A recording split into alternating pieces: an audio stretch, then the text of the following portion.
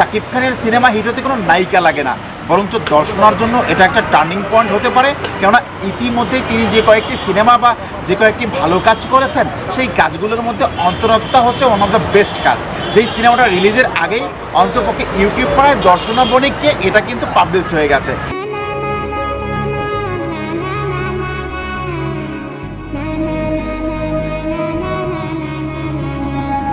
Mobil, চালু থাক আপনার উন্নতির যাত্রা। রয়্যাল এক্সপ্রেস থেকে বরাবরের মতো হাজির হয়ে গেলাম আমি আরিয়া। সাম্প্রতিক সময়ে বাংলাদেশের একটি মুভি নিয়ে কথা বলতে চাই এবং মুভিটির নাম হচ্ছে অন্তরাত্মা। এই মুভিতে প্রথমবারের মতো শাকিব খানের বিপরীতে যিনি চুক্তিবদ্ধ হয়েছেন, তিনি হচ্ছেন কলকাতার দর্শনাবনে কোনো সন্দেহ নেই, এই মেয়েটি অনেকটাই ট্যালেন্টেড এবং ইতিমধ্যেই কিন্তু তামিল অঞ্চল থেকে শুরু করে বলিউড মিশন করে এসছেন। বাট সবচেয়ে মজার একটি বিষয় হচ্ছে, শাকিব খানের সঙ্গে অন্তরত্ত্বা সিনেমায় তাকে যে দেখা যাবে এই কন্টেন্টটাই ইতিমধ্যে সামাজিক যোগাযোগ মাধ্যম এবং ইউটিউবে ভাইরাল হয়েছে। এবং অনেকেই বলছেন দর্শনার জন্য এটি একটি টার্নিং পয়েন্ট সাম্প্রতিক সময় শাকিব খানকে নিয়ে একটি কমপ্লিমেন্ট করেছেন দর্শনামণি এবং তিনি জানিয়েছেন যে শাকিব খানের জানার ইস্ক্রিয়াটা অনেক বেশি এবং তিনি টোটালি যে কোনো কাজ সম্পর্কে জানতে চান, যেটা দর্শনার কাছে অনেকটা ভালো লেগেছে এবং শাকিব খানের অ্যাক্টিং স্কিল নিয়েও তিনি প্রশংসা করেছেন। এবার কথা হচ্ছে দর্শনার প্রশংসা শুনে বাংলাদেশের যারা সাকিবিয়ান রয়েছেন, যারা শাকিব খানের ভক্ত রয়েছেন, তারা দর্শনাকে আকাশচুম্বী অবস্থানে নিয়ে গিয়েছেন। কিন্তু আমার একটি মতভেদ আছে, কলকাতায় যখন আমাদের ইন্ডাস্ট্রি থেকে কোনো স্টার যায়, তখন সেখানকার মিডিয়া কি এতটা টিআরপি দেয়? দেখেন, অন্তরাত্মা সিনেমাটা কিন্তু এখনও রিলিজ পায়নি। তার আগেই দর্শনাকে নিয়ে যেভাবে আমরা মাতামাতি করেছি, আমার কাছে মনে হয়েছে এটা টু মাছ হয়ে যাচ্ছে।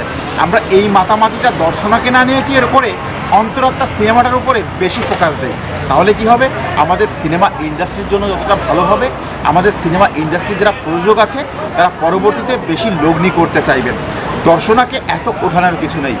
বিশেষ করে আমি আমার রিভিউতে বলতে চাই, কলকাতার যে নায়িকাগুলো রয়েছেন, যারা হাইপে থাকেন, তাদের মধ্যে দর্শনা কিন্তু অতটা নামি দামি জায়গায় অবস্থান করেন না। দেখেন, মিমি চক্রবর্তী, কৌশানীরা কিন্তু দর্শনার থেকে অনেক উপরে, এবং সেই বেসটাকে যদি আপনি মডিফাই করেন, তাহলে দর্শনা অনেকটা লো লেভেলে থাকে।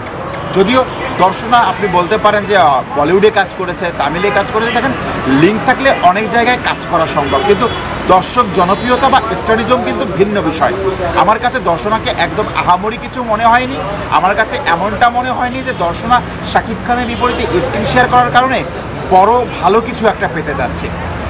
তবে অন্তরত্ত্বা সিনেমাটার কাজ আমার কাছে ভালো লাগছে। এই গল্পটা যেহেতু শাকিব খান প্রশংসা করেছেন, আমি এটার দিকে পজিটিভ থাকতে চাই। তবে তার মানে এই না যে দর্শনাকে এখানে অনেকটা ক্রেডিট দিতে চাই। দেখেন, শাকিব খানের সিনেমা হিট হতে কোনো নায়িকা লাগে না। বরঞ্চ দর্শনার জন্য এটা একটা টার্নিং পয়েন্ট হতে পারে। কেননা ইতিমধ্যে তিনি যে কয়েকটি সিনেমা বা যে কয়েকটি ভালো কাজ করেছেন, সেই কাজগুলোর মধ্যে অন্তরত্তা হচ্ছে ওয়ান অফ দ্য বেস্ট কাজ। যেই সিনেমাটা রিলিজের আগেই অন্তপক্ষে ইউটিউব পাড়ায় দর্শনা বণিককে এটা কিন্তু পাবলিশড হয়ে গেছে।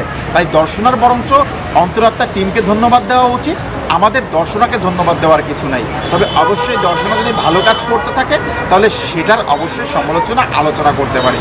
তবে দর্শক, আমার যারা দর্শক রয়েছেন, তাদের কাছে বিনীতভাবে অনুরোধ করব, অন্তরাত্মার সঙ্গে থাকুন শাকিব খানের সঙ্গে থাকুন। দর্শনা বণিককে এতটা প্রাধান্য দেওয়ার কিছু নেই। সিনেমার স্ক্রিনেই আমরা বুঝতে পারব কতটা পেরেছেন দর্শনা বণিক আমাদের কথা রাখতে অথবা আমাদের কতটা হতাশ করেছেন স্ক্রিনে। রয়্যাল এক্সপ্রেস থেকে আরিয়ান শাকিব